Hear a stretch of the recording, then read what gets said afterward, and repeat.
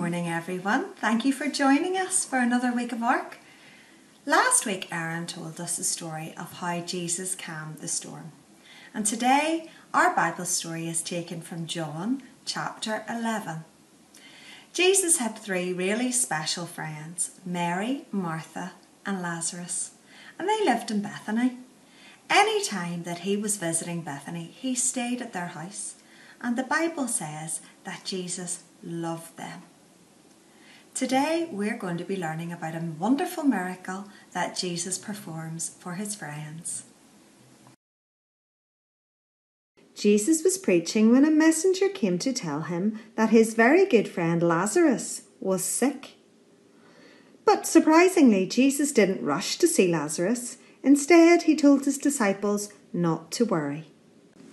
It was two days before Jesus headed to Bethany to see his friends Mary, Martha, and Lazarus.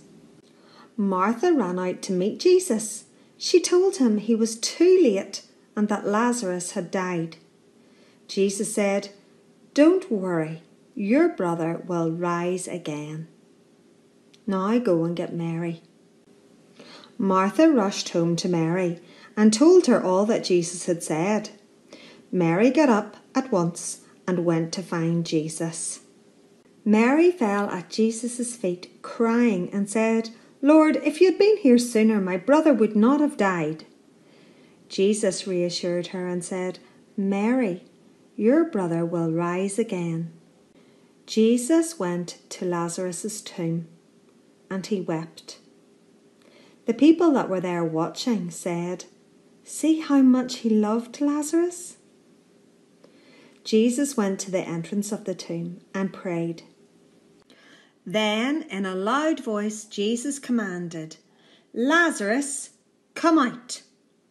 And Lazarus appeared out of the tomb, covered in strips of cloth. Mary and Martha were overjoyed to see their brother Lazarus alive again.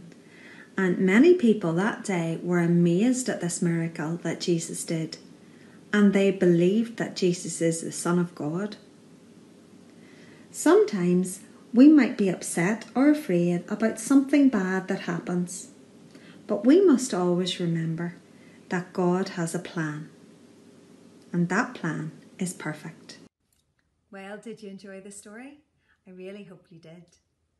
Now, at home, if you would like to, there's a game in your Ark Pack that you can do and there's a lovely colouring page for you to colour in. Have a great week, whatever you do.